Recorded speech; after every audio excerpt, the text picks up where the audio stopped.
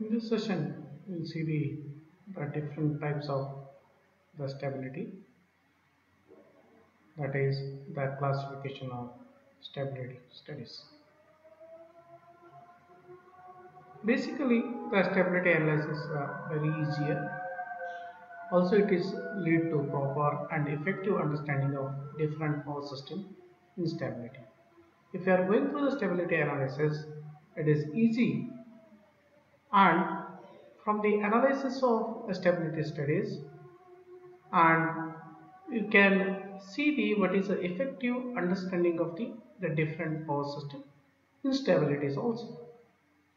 The key factor that leads to instability can be easily identified and appropriate the corrective measures should be taken so that the system remains in stable condition. That is why the method can be devised for improving the power system stability.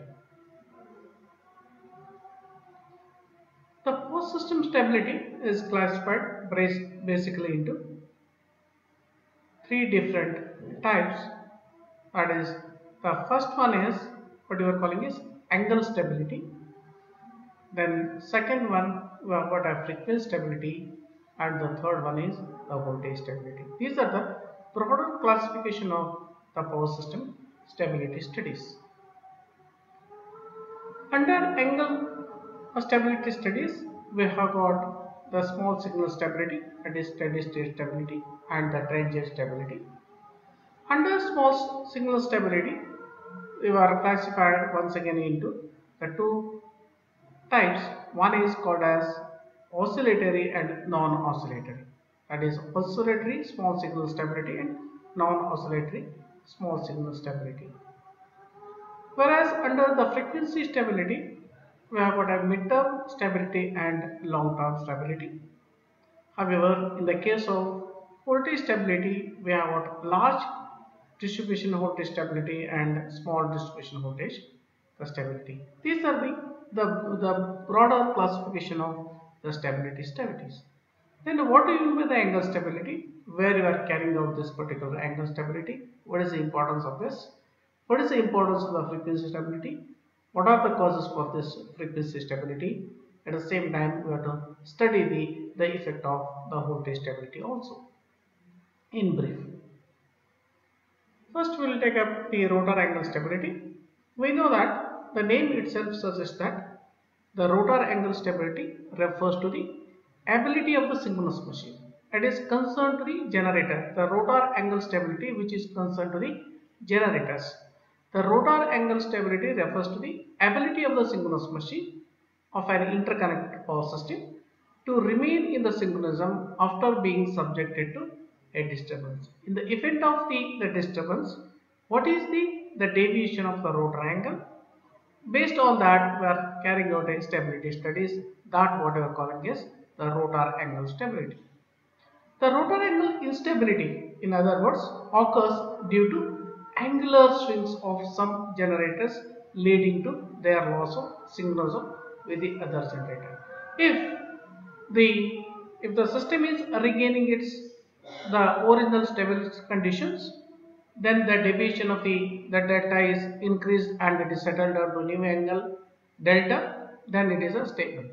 Otherwise, if the distance is so high so that the angle delta is goes on increasing in that case it is causing a instability or the generator is losing its stable condition.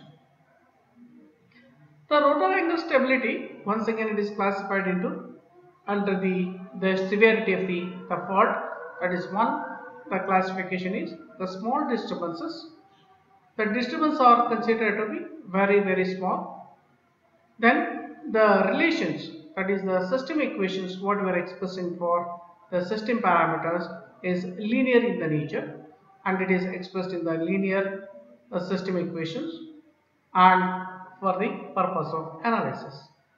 The time frame of interest that is what carrying out this small signal a small disturbance rotor angle stability from 10 to 20 seconds 20 seconds. Because the disturbance is not so high so that the system study we have to wait for 10 to 20 seconds. That is can the stability studies have to carry out 10 to 20 seconds and you have to take the appropriate the corrective measures. Whereas in the case of the large disturbance rotor angle stability that is I told you the rotor angle stability is concerned to the synchronous generator once again, the last disturbance rotor angle stability can be defined as it is the ability of the power system to maintain synchronism under severe or large disturbances such as short circuit or a transmission line. The disturbances are so large that the linear equation, the system equation cannot be expressed in linear form. Therefore, the analysis is a little bit difficult in the case of large disturbances or large disturbance rotor angle stability. At the same time, the, the disturbance is large, then then we don't know the when the system is or angle delta is goes on increasing infinitely so that you have to in the case of the large disturbances the time frame can be curtailed to 3 to 5 seconds. Means because the disturbance is large you have to make the appropriate decision within a shorter time without losing. That is the generator should not lose its synchronism. the solution for this particular the angle stability studies as that is in the power system they are using the power system stabilizers or PSS that is uh, it is controlling the the actually that is the if the, the power output is increasing we know that I have to supply the voltage at a constant voltage and generated voltage has its own capacity E and V are constant then E is depending upon the excitation where V is the terminal voltage which is a constant Xs is constant sine delta is the when the power is increased delta is increasing if the, the disturbance is very large, delta should increase beyond 90 degree. That should not be. Then it is loses its synchronism. Therefore, for increase in the, the load, in that case, what you have to do is, you have to increase the factor E. So that EV by Xs into sine delta. That is, P is constant, Xs is constant, delta is reaching its maximum value. Then which parameter you have to change? That is the value of E. That is only possible by increasing the, the excitation of the, the alternator that is how we would come into power system stabilizers. Okay? Whenever there is a small disturbances in the system then the excitation control that is the power system stabilizers they are using. Okay? This uh, about the the angular stability studies. In the voltage stability it is concerned with the load side. It is a concern with the load. Whereas generator side we have got an angular stability then the voltage stability is concerned with the, the load. The voltage stability refers to the once again ability of the power system to maintain steady voltages that is in all the parts of the the system the voltage should be within its permissible limit.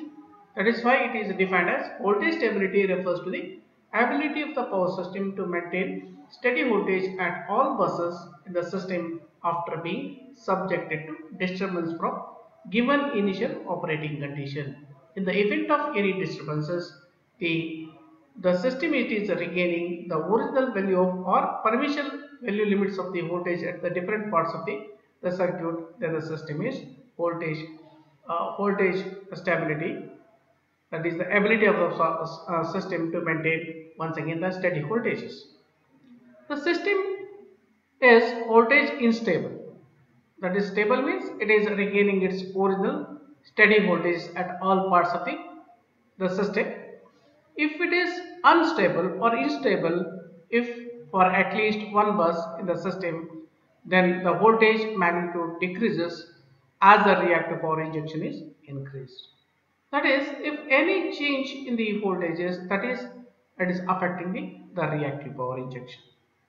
The voltage instability results in progressive fall or rise of the voltage of some buses. Because of the disturbances of this, there is a progressively increase or or fall in the voltages of the sum of the, the buses.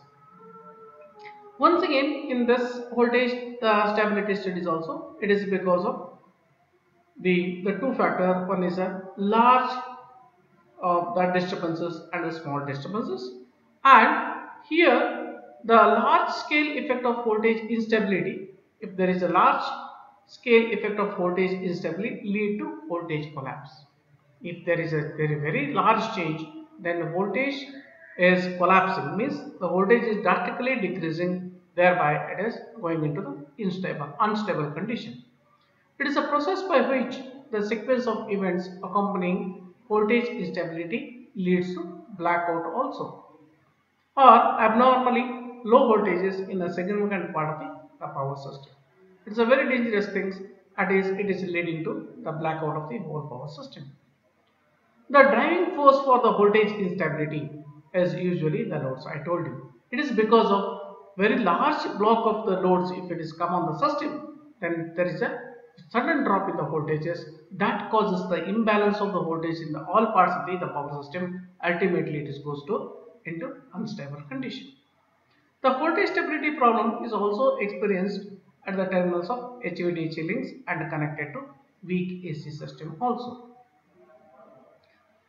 Then the voltage stability classification once again is under the two category. One is the small disturbance voltage stability that is small disturbance voltage stability refers to the system ability to maintain the steady voltages when the subjected to a small disturbance. That is the system voltages if it is ability to regain maintain a steady voltage after some a small disturbances then it is called as a small disturbance voltage stability. Okay, here the system equation can be the analyzed using the, the linear form or sometimes it is a non-linear techniques also used for analyzing the voltage stability studies. In the large disturbance voltage stability, the large disturbance voltage stability refers to the system to system ability to maintain steady voltages once again due to due to the large change in the, the system parameters such as it is because of there is a fault in the system, loss of generation or circuit configure uh, contingencies. These are the causes of large disturbance in the power system that cause the, the voltage uh, instability. The study period of interest may extend from few seconds to 10, 10 of the minutes. That is they are observing what is the consequences of this large disturbances because of the, the faults, loss of generation and the different circuit contingencies. The possible result uh, as that loss of load in an area because of its overloading then ultimately there is a switching action. By that there is a the loss of the load in the, an area tripping of transmission lines and other protective equipments. The solution for this type of the voltage uh, instability can be avoided by using AVR that is automatic voltage regulation or reactive power compensation. This is how we are having the two loops here but that is uh, one is from the power system stabilizer as well as automatic voltage regulator that is controlling the power system or generating unit in the event of any changes on the load that is it is ultimately it is fall on the the generator and we have to adjust the the voltage or the power and maintain the voltage such that we have to adjust using the power system stabilizer and automatic voltage regulators. Then under the frequency stability studies, once again the frequency stability refers to the ability of the power system to maintain the constant frequency following a severe system upset resulting significant imbalance between the generation and load. That is, we define our the voltage stability refer to the load side if there is a change in the very large change in the loads. Then the angle stability is referred to the generator side whereas the frequency stability is the combination of load and the generation. If there is a the more imbalance between the generation and load then there is a it is an effect on the, the frequency. That is if the frequency stability is defined as it is ability of the regaining the the constant frequency in the event of any faults or any disturbances. The frequency stability may be short-term phenomenon or a long-term phenomenon. Therefore, the solution for this is primary and supplementary loop controls. that is automatic load frequency control, what we are calling is ALFC, and special protective plans can be made for making the, the frequency, uh, frequency to be maintained at constant value. That is the rotor angle versus uh, voltage stability. That is the rotor angle stability basically generator stability while the voltage stability means it is a low load stability. That is I told you that is a rotor angle stability is referred to the generator side or generator stability while the voltage stability is refers to the load stability. Rotor angle stability may mainly interlinked with real power transfer. That is, there is a direct relation between rotor angle stability with the real power transfer. Whereas the voltage stability is linked with the reactive power transfer. Rotor angle, delta and real power and voltage, voltage stability and the reactive power are coming into picture when we are comparing rotor angle stability and voltage stability.